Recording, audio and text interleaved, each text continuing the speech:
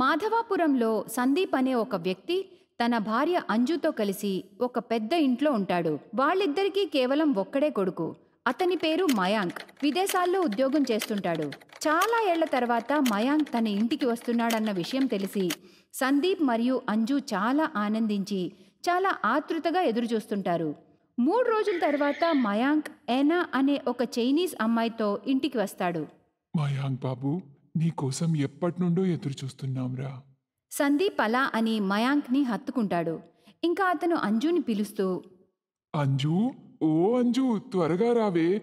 చూడు మన కొడుకు వచ్చేశాడు మయాంక్ వస్తున్న సంతోషంలో అంజు పొద్దున్నుంచి వంటగదిలో రకరకాల వంటలు చేస్తూ ఉంటుంది. తన చీర కొంగుతో చేతులు తుడుచుకుని బయటకొచ్చి గట్టిగా కొడుకును హత్తుకుంటుంది. ఎలా ఉన్నావు నాయనా? చాలా సంతోషంగా ఉందిరా. ఎన్నాళ్ళకి నిన్ను చూస్తున్నాను? నేను బాగున్నానమ్మా. అరే మయాంక్ ఆమెవరు? విదేశీ అమ్మాయిలా ఉందే. ఎవరు బాబు? అమ్మా ఈమె ఏనా? నా ఆఫీస్లోనే పనిచేస్తుంది. అప్పుడు మయాంక్ ఎనాతో వీళ్ళు మా అమ్మా నాన్నలేనా? మయాంక్ చెప్పగానే ఎనా అంజు కాళ్ళు మొక్కుతూ ఇలా అంటుంది. కాళ్ళు చూపించండి మదరిన్లా ఏమంటుందిరా? అది కాదేనా? పాదాలు చూపించండి అనాలి. ఓ I'm sorry mother in law. బాబు ఆ పిల్ల నన్ను ఎందుకు మాటి మాటికి mother in law mother in law అంటుంది? ఆమె నా భార్యమ్మా. మేమిద్దరం పెళ్ళి చేసుకున్నాం. ఏమంటున్నావు బాబు? నువ్వు మాకు చెప్పకుండానే పెళ్ళి చేసేసుకున్నావా?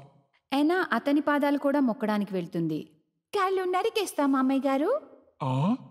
కాళ్ళు నరుకుతావా? ఏం మాట్లాడుతుందిరా అమ్మాయి? సారీ మామయ్య గారు. ఈసారి కూడా రాంగ్గా అన్నాను. సారీ మీ పాదాలు నాకు ఇవ్వండి. ఓహో మయాంక్ నువ్వేం చేసావురా అసలు ఇంకా ఆపు ఎనక్. ఆ అదే ఎనా నీ పేరు ఏదైతే అది? రోజంతా ఇలానే పాదాలు మొక్కుతూ ఉంటావా ఏంటి? సరేలే ఏదో ఒకటి. ఏంట్రా ఇదంతా? సంతోషంగా ఉండు. బాబు మయాంక్ ఏంట్రా ఇదంతా? అమ్మా నేను అవన్నీ మీకు తర్వాత చెప్తాను. నేను చాలా అలసిపోయాను. నాకు చాలా ఆకలేస్తుంది. మయాంక్ అలా అని తన గదిలోకి వెళ్ళిపోతాడు. యానా చాలా చిన్న చిన్న బట్టలు వేసుకుని ఉంటుంది. సందీప్ మరియు అంజు యానా బట్టల్నే చూస్తుంటారు. ఓ దేవుడా ఎలాంటి సగం సగం బట్టలు వేసుకుంది అమ్మాయి? మయాంక్కి మతిపోయింది. ఇలాంటి అమ్మాయిని ఇంటి కోడలుగా తెచ్చాడు. ఒకవేళ ఇరుగు పొరుగు వారు ఈ అమ్మాయిని ఇలాంటి బట్టలతో చూస్తే ఎలాంటి మాటలు మాట్లాడుకుంటారో ఏమో. అంజు లోపలికి వెళ్ళి ఒక చీర తీసుకొచ్చి ఎనాకిస్తూ ఇలా అంటుంది.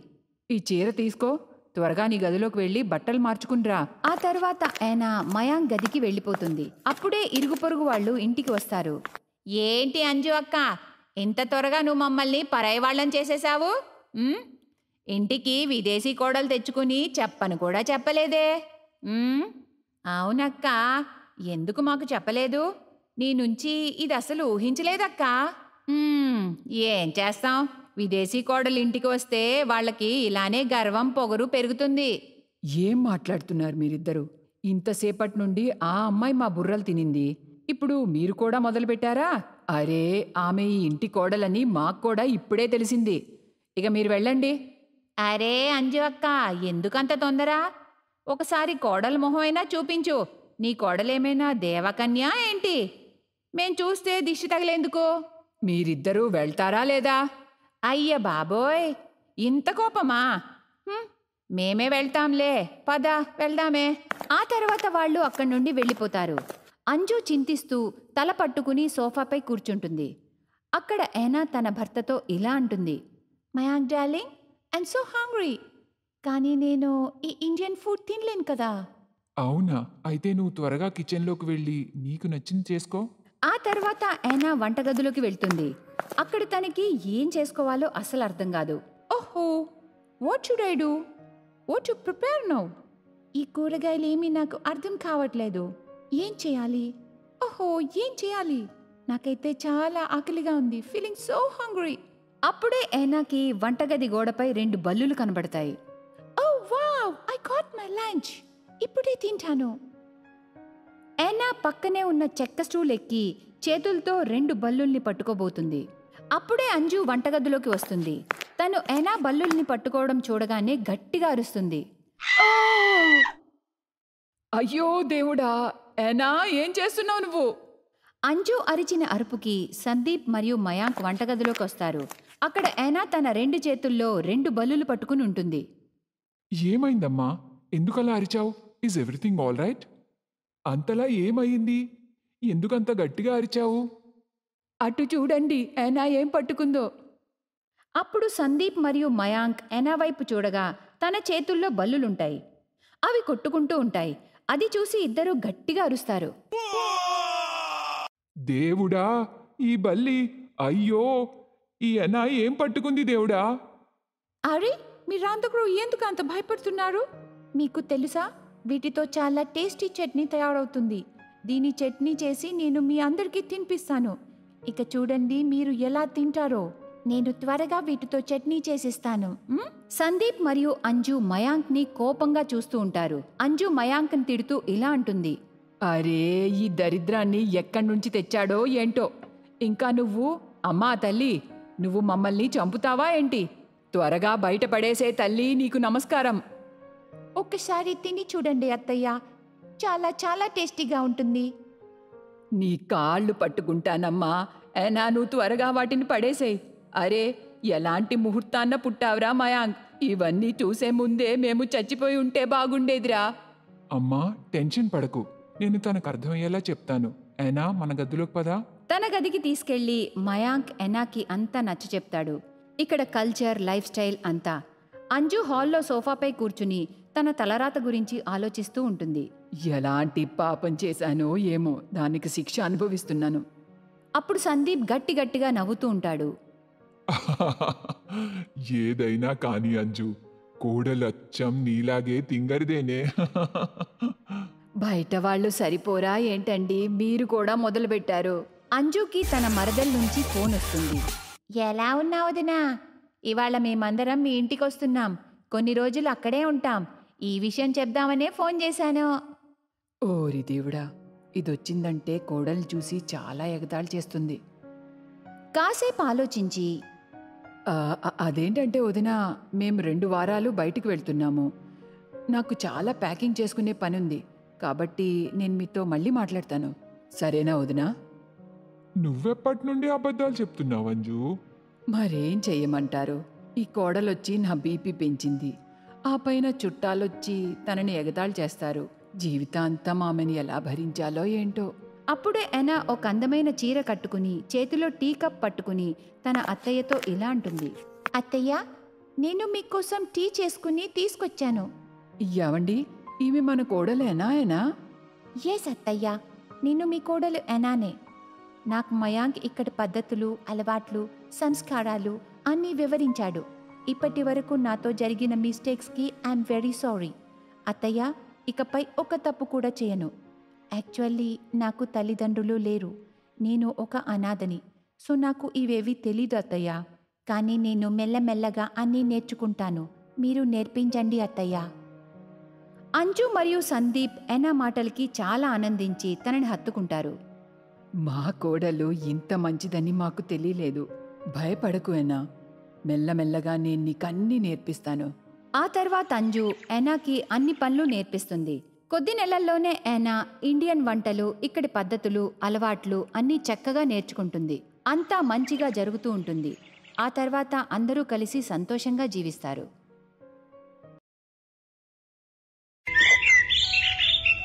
రమా మధు మరియు సుధా ఆశాదేవి గారి ముగ్గురు ప్రభుత్వ కోడళ్ళు. రమా వృత్తిరీత్యా ప్రభుత్వ న్యాయవాది. మధు యూనివర్సిటీలో ప్రొఫెసర్. మరియు చిన్న కోడలు సుధా ఒక గవర్నమెంట్ బ్యాంక్లో ఉద్యోగం చేస్తూ ఉంటాది. ముగ్గురు కోడళ్ళు ఉద్యోగాలు చేసేవారు. అందువలన రోజంతా ముగ్గురు చాలా బిజీగా ఉండేవారు. ఈ సాకుతో రోజు ముగ్గురు కోడళ్ళ మధ్య ఏదో ఒక విషయంలో గొడవలు జరిగేవి. ముఖ్యంగా ఆదివారం నాడైతే ఏంటి ఆశాగారు ఈరోజు పొద్దు పొద్దున్నే మార్కెట్కి వెళ్ళి వస్తున్నారు? ఈరోజు ఆదివారం కదా. కొడుకులు కోడళ్ళు ఆలస్యంగా నిద్రలేస్తారు. అందుకే నేను మార్కెట్కి వెళ్ళాను.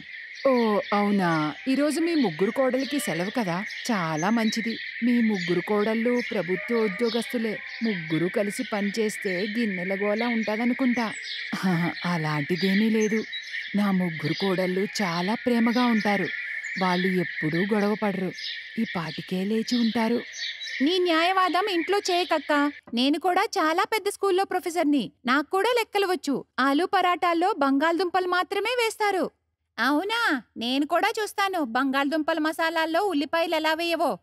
మేమందరం కూడా తింటాము. గుర్తుంచుకో. అరే ఎవరాపారు ఆరున్నాయి కదా. ముగ్గురం రెండేసి తీసుకుందాం. ఈ రెండు నావి. ఈ రెండు నావి. ఓ చాలా బాగుంది. మీరిద్దరూ మంచి మంచివి ఎంచుకుని నాకు మాత్రం పాడైపోయినవి ఇచ్చారా మీరిద్దరైతే చాలా తెలివైనవారు. నేను కూడా బ్యాంకులో ఉద్యోగం చేస్తాను. నాకు కూడా లెక్కలన్నీ బాగా తెలుసు. ఇందులో సగం పాడైపోయినాయి. ఇవి నేను మాత్రం ఎందుకు తీసుకోవాలి? నా దుంపలు నేనివ్వను. నేను మాత్రం ఎందుకు ఇవ్వాలి ఆదివారం చాలా కష్టపడి వస్తుంది. ఆలూ పరాటా తినే అవకాశాన్ని నేనెందుకు వదులుకోవాలి? నేను కూడా చూస్తానే. భగవంతుడా! నేను ఊర్లో అందరికీ చెప్పుకుంటూ తిరుగుతాను. నా ముగ్గురు కోడళ్ళు సాధుజీవులు నోట్లో నాలికే లేదని. ముగ్గురు చాలా ప్రేమగా ఉంటారని. కానీ ఇక్కడ ఒక్క ఆలుగడ్డ కోసం మహాభారతం మొదలుపెట్టేశారు. మీ ముగ్గురు ఇంత పెద్ద పెద్ద గవర్నమెంట్ ఉద్యోగాలు చేస్తున్నారు. కానీ చిన్న పిల్లల్లా గొడవ పడుతున్నారు. అర్థం కావట్లేదు నేను పైకి పోయాక. ఆ మాట అనగానే ముగ్గురు కోడళ్ళు తన నోరు మూసేసి ఈరోజు అన్నారు కానీ ఇంకెప్పుడు అనకండి అత్తయ్య సారీ అత్తయ్య. ఇంకెప్పుడు అనకండి. అత్తయ్య మీరు లేకుండా మేం ముగ్గురం అసంపూర్ణం అత్తయ్య ఇంకెప్పుడు అనకండి.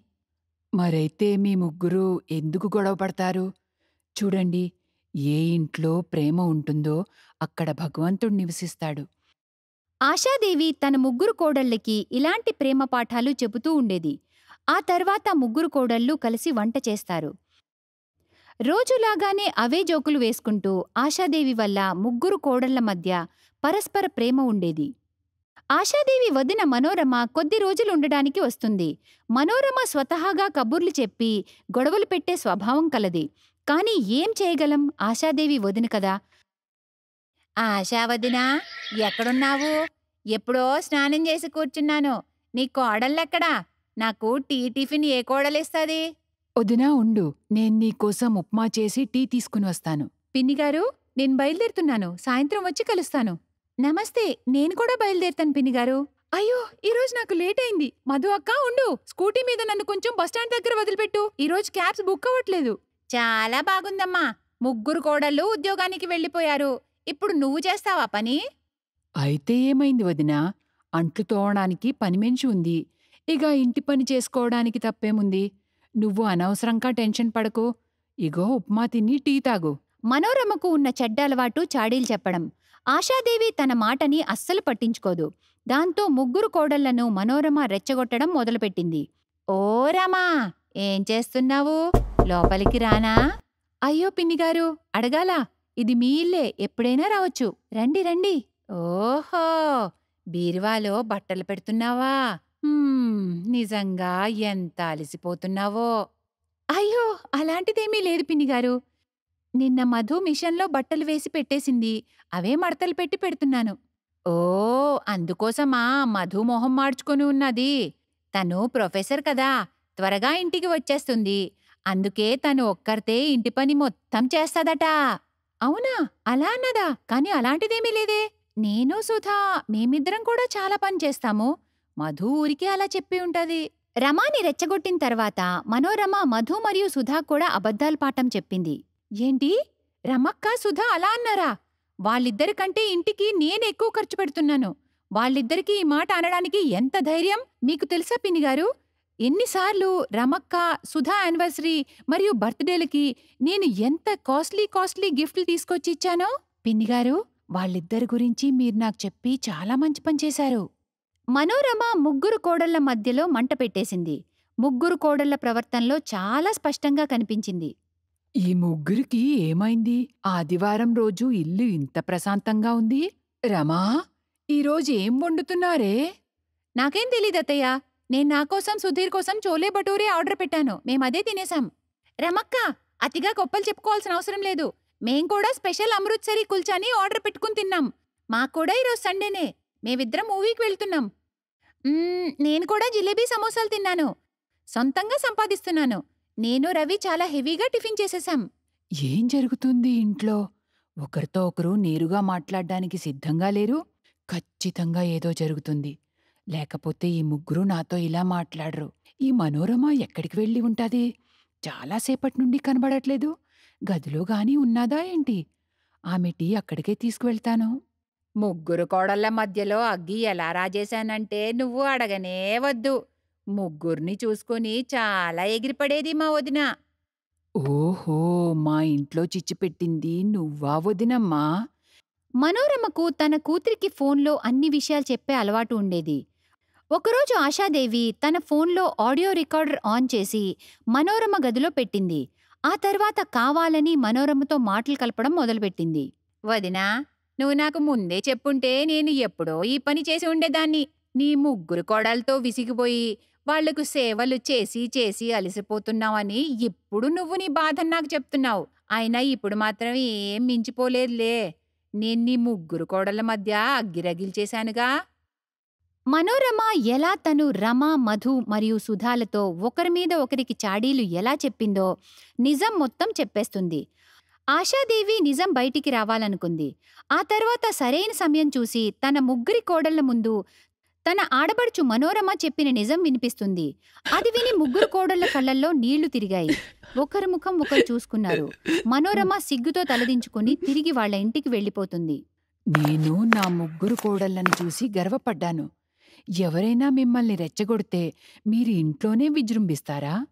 నేను అందరితో చెబుతాను నా ముగ్గురు కోడళ్ళు చాలా తెలివైన వారిని. ఎందుకంటే ఇల్లు ముక్కలవడానికి ఎక్కువ సమయం పట్టదు. మమ్మల్ని క్షమించండి అత్తయ్యా. ఇక మీదట మేము ఈ తప్పు ఎప్పుడూ చేయము. ముగ్గురు కోడళ్ళ మధ్యలో మళ్ళీ ఐక్యత నెలకొంది. ఆశాదేవి కుటుంబం చాలా సంతోషంగా ఉంది. Best buddies hello friends! ఈ వీడియో చూసినందుకు మీకు ధన్యవాదాలు. ఒకవేళ మీకు ఈ వీడియో నచ్చినట్లయితే దయచేసి లైక్ చేసి సబ్స్క్రైబ్ చేయండి. మరియు ఈ వీడియోపై కామెంట్ చేయండి. హా ఇంకో విషయం. షేర్ చేయడం మర్చిపోకండి. ఇలాంటి మరిన్ని వీడియోలు మీరు చూడాలనుకుంటే కిందనే ఉన్న బెల్ బటన్ని నొక్కండి. చూస్తూనే ఉండండి. Best bodies.